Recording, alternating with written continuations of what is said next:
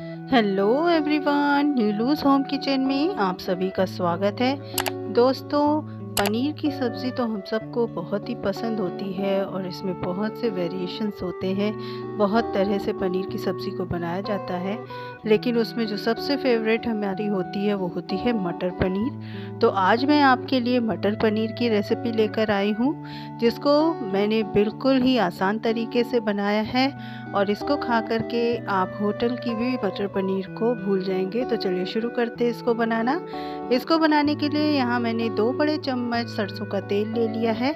उसको अच्छे से हम गरम कर लेंगे और यहाँ पर मैंने 250 ग्राम पनीर ले लिया है। उसको मैंने छोटे टुकड़ों में काट लिया है और अब हम उसको तेल में डाल देंगे और आँच को हमें मीडियम कर देना है और मीडियम आँच पर हमें धीरे धीरे चलाते हुए पनीर को हल्का गोल्डन ब्राउन होने तक तल लेना है। देखिए कितना अच्छा रंग आ चुका है पनीर पर। तो इस स्टेज पर हमें पनीर को निकाल लेना है। तो इसको एक प्लेट में हम निकाल लेते हैं और अभी इसको हम अलग रख देते हैं। अब उसी कढ़ाई में हमने एक टेबल स्पून सरसों का तेल लिया है। उसमें दो से तीन हम तेज पत्ते डाल देंगे और इसको हल्का सा हम तड़का लेंगे। उसके बाद यहाँ पर मैंने दो प्याज, तीन टमाटर दो इंच अदरक के टुकड़े और 10 से 15 लहसुन की कलियों का पेस्ट बना लिया है। उसको भी हम इसमें डाल देंगे और इसको हम अच्छे से चला करके भून लेंगे। थोड़ा सा इसमें पानी भी डाल देंगे। अब इसमें एक चौथाई चम्मच हल्दी पाउडर, सवा चम्मच के करीब हम इसमें लाल मिर्च पाउडर, दो चम्मच धनिया पाउडर और स्वादानुसार इसमें हम नमक डाल देंगे।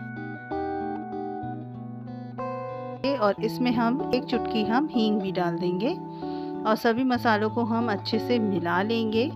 अब यहाँ पर मैंने 200 ग्राम के करीब ये फ्रोज़न मटर ली है, इसको मैंने पानी में भिगो करके 5-10 मिनट रख दिया था और पानी हटा करके डाल लिया है। अगर आपको ताज़ी फ्रेश मटर मिल जाती है तो आप वो भी यूज़ कर सकते हैं।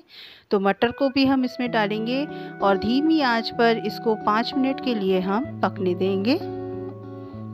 ढक्कन लगा देंगे और पाँच मिनट पकने देंगे। पाँच मिनट जो है पकने के बाद देखिए, इस तरह हमारा मसाला अच्छे से पक चुका है। बीच बीच में हमें मसाले को चलाते भी रहना था। तो इस तरह जो है हम मसाले को अब तेज़ आँच पर बढ़िया से एक दो मिनट और भून लेंगे। तो अब इसमें जो हमने पनीर को तल कर के रखा था, उसको भी इसमें डाल देंगे। और आँच हमें इस समय तेज़ ही रखनी है और एक दो मिनट हमें पनीर को मसाले के साथ अच्छे से भून लेना है। तो अब इसमें हम जितनी हमें ग्रेवी रखनी होगी, उस हिसाब से हम इसमें पानी डाल देंगे। तो देखिए, मैंने यहाँ पर जितनी मुझे ग्रेवी रखनी है, उस हिसाब से मैंने पानी डाल दिया है। अब इसको अच्छे से हम मिला लेते हैं और इसको हम पकने देंगे। तो इस समय अब हमको आँच को मीडियम कर देना है और जब इसमें एक बढ़िया सा उबाल आ जाए तो इसमें एक चौथाई चम्मच के करीब हमें गरम मसाले का पाउडर डाल देना है, उसको अच्छे से मिला लेना है और अब ढक कर के पाँच से सात मिनट मीडियम आँच पर इसको हमें पकने देना है ताकि ग्रेवी जो है वो हमारी थोड़ी सी गाढ़ी हो जाए। तो देखिए पाँच सात मिनट हो चुके हैं तो हमारी सब्ज़ी कितनी बढ़िया तरह से पक चुकी है, कितना अच्छा कलर आ गया तेल किनारों पर नज़र आ रहा है और देखने में भी बहुत ही टेस्टी लग रही है, बहुत अच्छी खुशबू भी आ रही है। तो ये देखिए, हमारी मटर पनीर अच्छी सी गाढ़ी सी बन कर के तैयार हो चुकी है।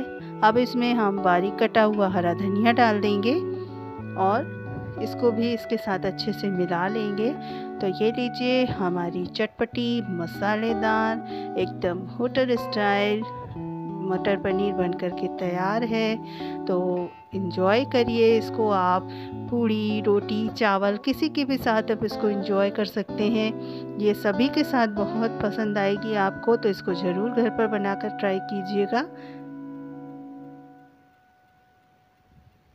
दोस्तों, आप सभी से निवेदन है कि अगर आपको मेरी रेसिपीज़ पसंद आ रही हों तो प्लीज़ मेरे चैनल को लाइक कीजिएगा शेयर कीजिएगा सब्सक्राइब कीजिएगा और बेल आइकन को ऑन करना मत भूलिएगा, ताकि मेरी आने वाली सभी वीडियोस आपको मिलती रहे। तो यहाँ पर मैंने मटर पनीर को गर्मा गर्म पूड़ियों के साथ सर्व किया है।